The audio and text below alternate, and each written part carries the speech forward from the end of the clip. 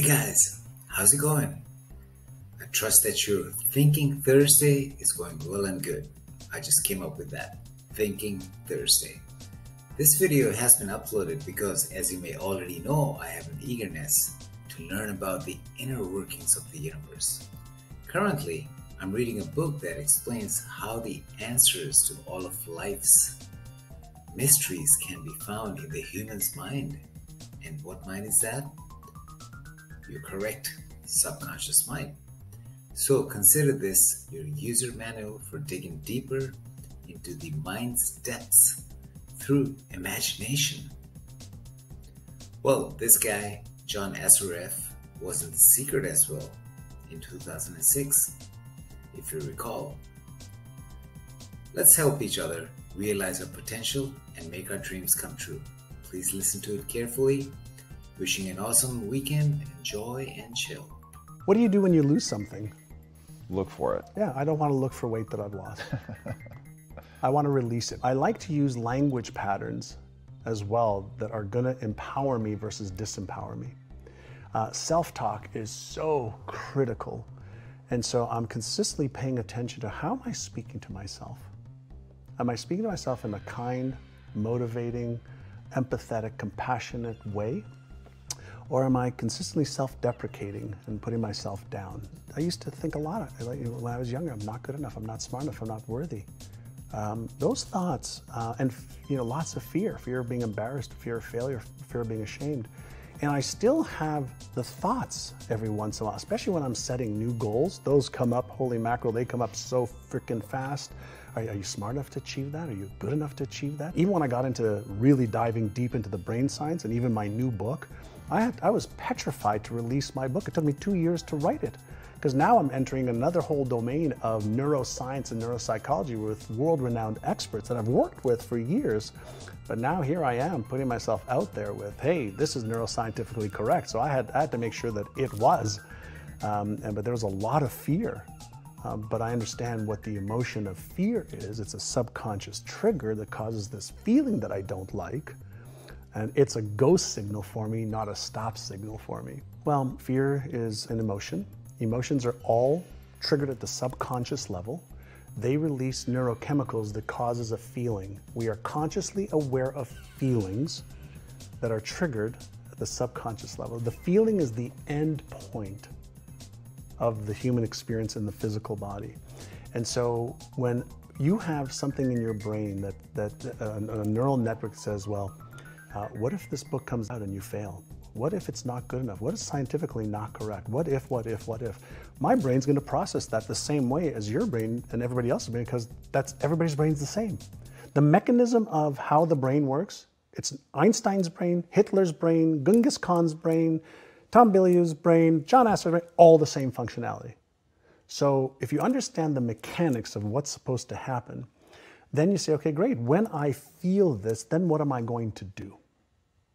So I, I like to use a, uh, an analogy of a car. You're driving a car and you're talking to a friend of yours and a light pops up on the dash. You don't take a hammer and hit a light.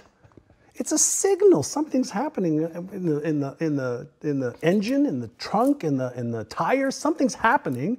Emotions and feelings aren't uh, positive or negative.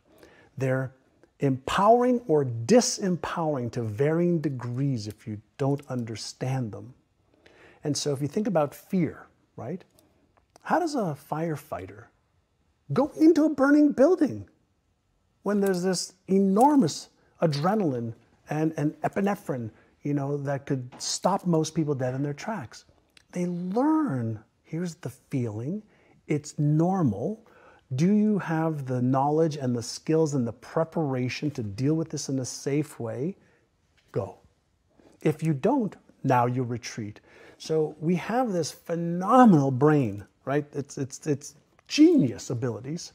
We can't figure out how to re replicate it anywhere with billions of dollars, uh, but we are getting some of the user's manual now. So when you feel fear, what should you do? I teach the first two exercises that I teach every one of our students. Number one is called Take Six, Calm the Circuits. So if you have this unpleasant anxious, fearful emotion, energy in motion, right? And it's unpleasant and the brakes have gone on, if you just take six deep breaths in through your nose, out through your mouth like you're breathing through a straw, you will deactivate the stress response center, which means blood is going to go back to the left prefrontal cortex. The Einstein part of the brain can actually think through this problem because what happens when the stress response center is activated, blood goes away from that into the fear response.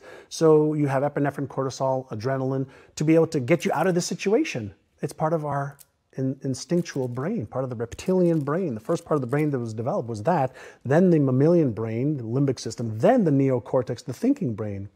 So when our brain has this signal of, oh my God, you might get hurt, you might lose this, you might get in trouble, you might be embarrassed, ashamed, ridiculed, judged, etc., that part of the brain is going to get activated. So if you take six deep breaths first, calm down, calm the circuits first, then do exercise number two is called AYA, A-I-A.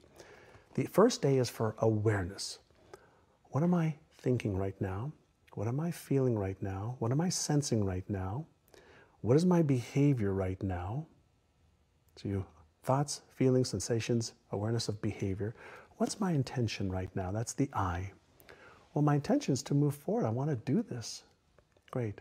What's one very small action step that you can take? Now, the reason you want to take one small action step is one small action step your brain can handle. If it's one small step towards it, the threat response goes away. But if you focus on the end game right away, you're going to get that rush and that instant trigger of the fear response, stress response. So the first thing you want to do is learn how to manage your mindset and what you focus on. Learn how to manage your emotions because they drive your behavior more than anything else. Because we move away from pain and we move towards pleasure, but we move away from pain a thousand times faster. and pain wires in the brain faster for survival mechanisms. So, purely from a neuroscience perspective, just understanding self once you understand, oh, okay, this feeling is normal, okay, what should I do? Take six calm the circuits, Aya, and now you can start being progressive and make progress towards what you want. Now, while you're in the, you know, in the uh, what am I thinking, feeling, it's a chance to be aware. And the biggest gift we have as human beings is our awareness, because awareness is what gives you choice and choice is what gives you freedom. Most people are living their lives in a reactive state, automatic reactive state because of these set points that we talk, started talking about. So we're in this repetitive cycle over and over and over and over. We react to the same things, we behave the same way, we eat the same foods, we dress the same way, just to maintain that homeostasis and comfort zones. And we've never been taught. Like when, when were we taught as kids? Like here are your six core emotions. Here's the way you deactivate you know, your stress center or fear center. Here's how you activate your imagination center. Here's how you have more focus. Here's how you develop a new belief. Here's how you develop a new habit. Here's how you release one. We haven't been taught that. We've been told they're important things, but we haven't been given the tools, and then we haven't practiced the tools enough to be able to make them part of our unconscious competence brain.